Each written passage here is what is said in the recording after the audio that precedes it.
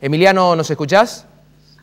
Sí, ahora los escucho yo. Perfecto. ¿Cómo están? Buen día. ¿Qué tal? ¿Cómo va? Bueno, a ver, otra jornada de protestas tratando de visibilizar este reclamo que llevan ustedes, insistimos, 102 días de sin interurbanos y que ustedes no obtienen una solución. Bueno, hoy es el día, ¿hay un principio de solución o todo sigue igual?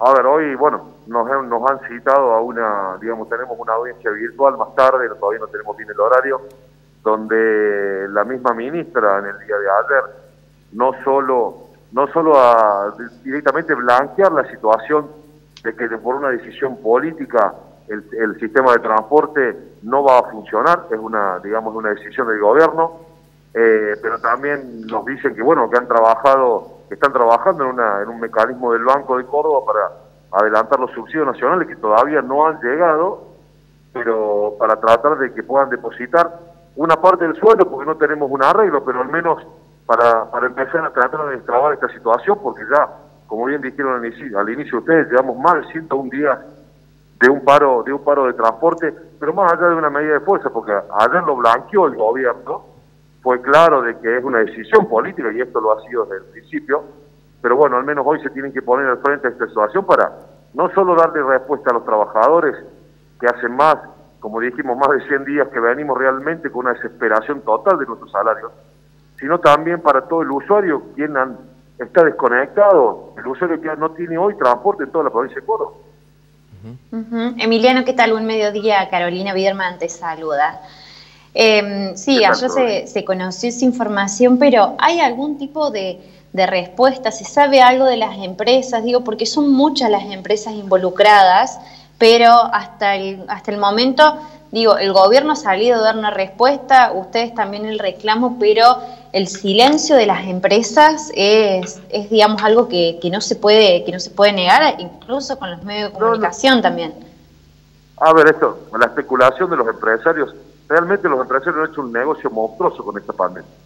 Son los únicos ganadores de todo esto porque ellos, al no, al no estar prestando servicios, no tienen costos operativos diarios, cobran los subsidios al 100% como si estuvieran trabajando ya hace más de tres meses y pagan y han pagado solo una parte de los salarios a los trabajadores y siguen haciendo lo mismo porque no les conviene que el sistema vuelva por, para no tener que, para hacerles un ejemplo, echarle el gasoil diario a los, a los colectivos y no tienen y no tener recaudación.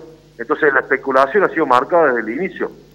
Solo que le ha sido funcional al gobierno también eso por una cuestión sanitaria quedó el trabajador y el usuario rehén de toda esta situación hace más de tres meses y sobre todo en una pandemia, sobre todo en un momento tan terrible, tan nosotros estamos todos horrorizados, terrorizados de todo esto. Imagínense que hemos tenido que salir a la calle donde nosotros hemos prevalecido y priorizado la, la salud de nuestra gente de los últimos 100 días, pero hoy nos llevan a la calle a tener que salir todos los días sin dinero y con un riesgo, con un riesgo importante, digamos, de un contagio de este virus. Emiliano, te pregunto por eso que mencionabas, eh, recién decías, el gobierno a nosotros nos blanqueó de que, bueno, es una decisión política de que no circule el transporte interurbano, obviamente por el tema del coronavirus. Ahora, más allá de esto que vos decís que, les dijeron, ¿hay voluntad de que al menos, más allá de que esto sea una decisión política, se solucione el conflicto salarial? Porque al fin y al cabo acá ah, está en juego el, el sueldo de los trabajadores, el hecho de dar de comer, como decís vos, a sus familias.